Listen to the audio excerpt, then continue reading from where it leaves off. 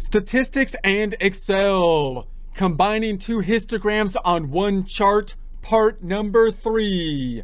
Get ready, taking a deep breath, holding it in for 10 seconds, and looking forward to a smooth, soothing Excel.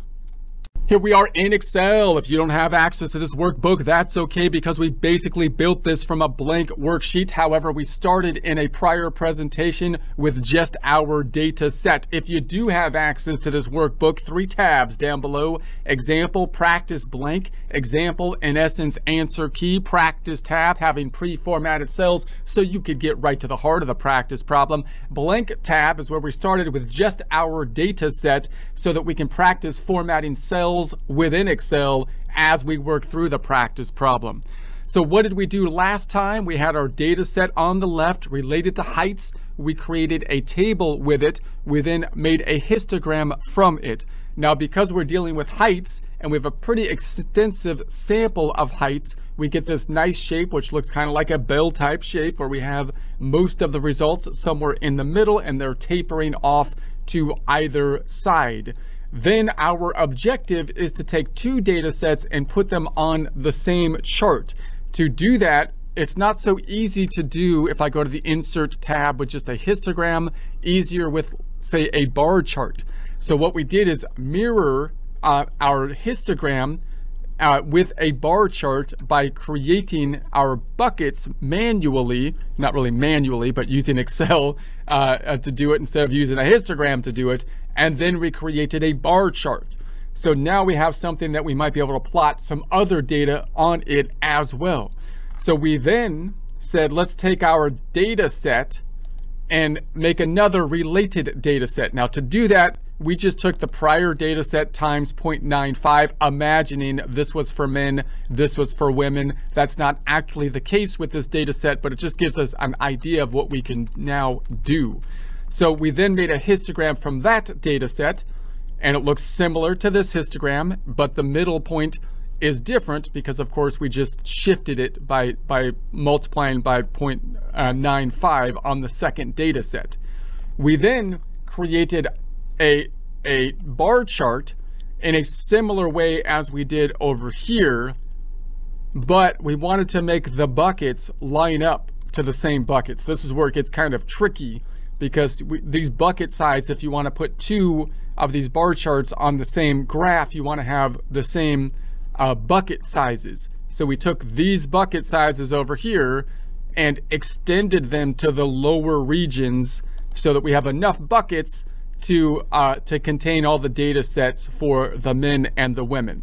All right, so now we're going to put them on the same graph. Now, before we do that, let's imagine that we just put them on top of each other. Like if we added these two data sets together in one data set and we've made one histogram from it, it's going to come up with a mush, uh, just a, a bunch of, it's going to, it's not going to separate the two data. So let me show you what I mean.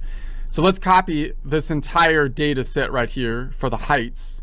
I'm going to put my cursor up top. Let's just select the entire column of Z and then I'm going to right click and copy. I'll bring that on over to the right and let's just test that out in AY. Uh, we'll right click and I'm just gonna paste it. Uh, let's pay, did I paste it? One, two, three, let's undo that. Let's just paste it normal, paste it normal. I did paste it normal, okay. So it pulled in and then I'm gonna go back on over and I'm also gonna take the data set for the women. Now I'm gonna copy just the women's data by putting my cursor in the drop down and copying just the data. So now I'm not getting the header and right click and copy. And then I want to put this underneath. So we have this very large data set. So I'm going to go into the data set. This goes down quite far. So to get to the bottom, I'm going to hit control shift and down. That takes me to the bottom. And then I'm just going to paste the data right here at the bottom. I'm way down here, 25,000. So I'm going to right click and paste uh, this data. Let's paste this one, two, three. And so now we have all this data going all the way down to 5,000 lines, right? We just put the two data sets on top of each other. What would that do if we had, if we entered the histogram to it? Let's put a table around it just to lock this in place. So I'm going to go to the insert tab, table group, and insert a table.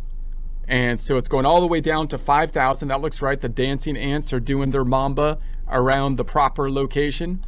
I don't care if they're dancing as long as they're doing the work, right? You, you play hard, you work hard, you play hard. If the ants want to dance, then they can as long as they get it done. As long as you get it done.